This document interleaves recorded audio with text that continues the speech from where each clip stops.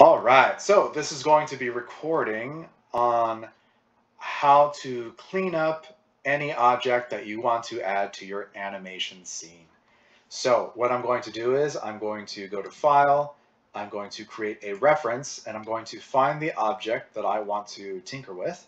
I'm going to introduce a chair, and uh, already this chair is giving me cause for concern. Uh, the reason being is because it's not centered.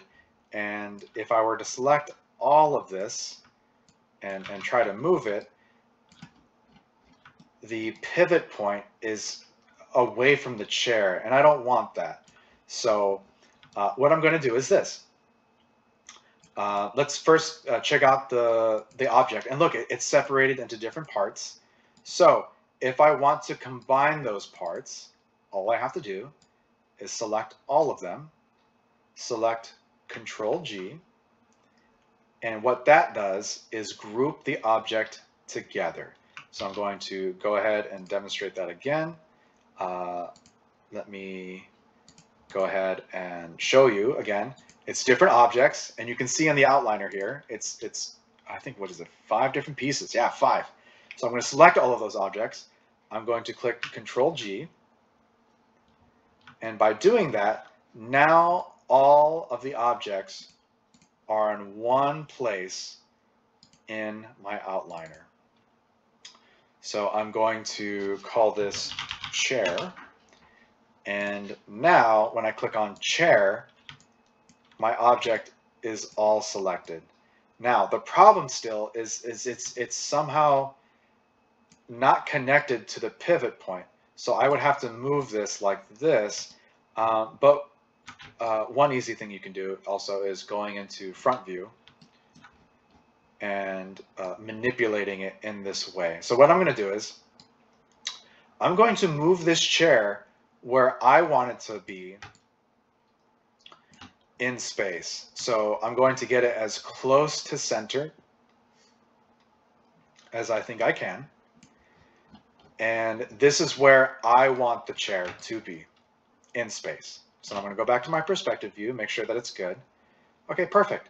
So um, now that the chair is exactly where I want it to be, I still don't like that this pivot point is away from the chair. So what I'm going to do is I'm going to select the D key and the D key is going to allow me to manipulate my pivot point.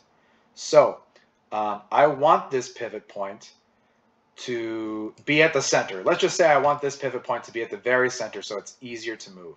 So what I'm going to do is go into my left view. I'm going to move this pivot point to the center of the chair in the left view as close as possible. Uh, if you really, really want to get as close as possible, uh, you can just zoom in. If you, again, if you really want to be um, as precise as possible, you can just move in here. I'm going to zoom out. Now that my left view looks good, I'm going to go to my front view. And I'm going to move this in the front. And now when I press the W key to move my chair, it moves at the center of my chair. Pretty cool stuff. So now if I go in perspective view, look, my pivot point is now at the center. Uh, please keep in mind though, um, you have to select the entire chair in your outliner to be able to move it. Please, please, please keep that in mind. Uh, do not think that you can just select the whole thing and then automatically like, oh, look, it's fine. No, um, you have to select it in the actual outliner. So um, now that I have this at the center, um, I actually don't like how this is going to be rotated. Um, reason being is if I were to rotate this chair, the pivot point is is like this. And if your character is leaning back in the chair, um, it's going through the ground. So to fix that, I would literally have to move it up like that. To make it easier, I'm actually just going to move this pivot point. So I'm going to go back to the back to the front view. and I'm going to press the D key. Remember, the D key is to move your pivot point, and I want this point to pivot from the back of the chair. Uh, so if our character was leaning back, it would be rotating from this point. To show that, I'm going to go back into perspective view. I'm going to press my W key so that I'm now able to move the chair. And look, I'm still able to move it just fine. Select the chair again. I'm able to move it just fine. But now when I rotate my chair backwards, I'm rotating on this axis. So now if our character is leaning back in the chair, I can rotate in confidence that it will be rotating from this axis. Now, uh, with that said, I never want to animate on geometry. Ever, ever, ever, ever, ever. So what I'm going to do is I'm going to create a controller. And what I'm going to do is I'm going to go to curves. I'm going to create a circle. So uh, just so you know, uh, NURB curves is, is generally what we use for controllers. So you all see that again. I'm going to go to uh, curve slash surfaces. I'm going to click on the circle. I'm going to click on R to expand this.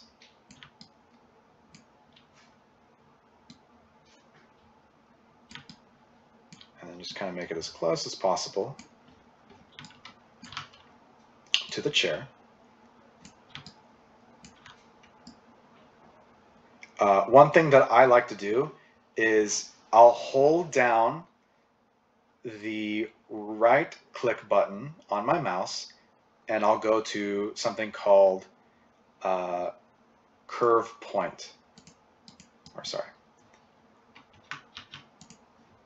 I'll go on something called uh, edit point. And now you can see that I have these points that I can edit. And I'm going to shape these um, kind of uh, towards the direction of the chair. So I'm going to squeeze these in. Uh, I'm going to select these. I'm going to squeeze those in as well. And now I have kind of a nice shape for my chair. Go to the top view. Uh, and as you can see, it's still a little weird. So I'm going to go back to object mode uh, by holding down the right key while this is selected. I'm going to hold down the right key on my mouse and I'm going to go to object mode. And now I'm just going to manipulate this to uh, try to be center of my chair. So now that I have that, I have a controller. I'm going to go to perspective view. I'm going to call this controller chair control in the outliner. I'm going to move it, hold it down, and I'm going to move it above the chair. And I'm going to put this chair geometry inside the chair control. So now when I move this object, I have a controller that moves all of the geometry for me, and I'm no longer animating on the geometry. So uh, what do I like to do when I do not want to animate any of the geometry?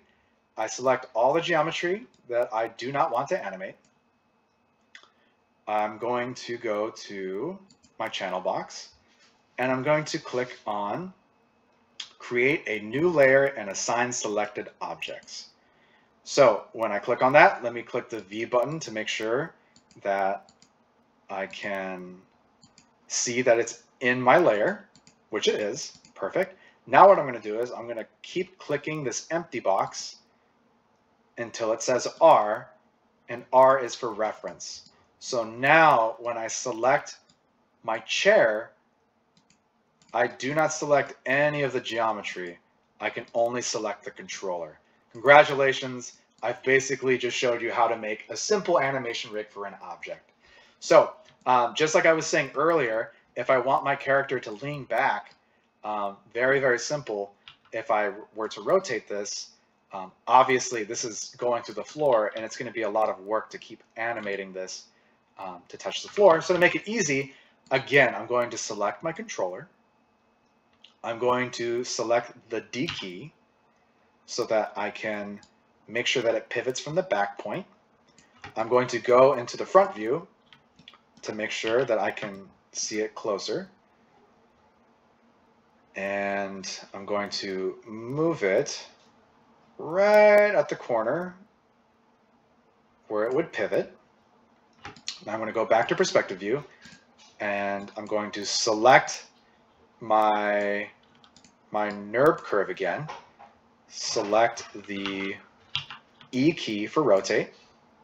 And now when I rotate this, it is rotating on this back axis. So if your character is leaning back in the chair, it's so much easier to animate from this way.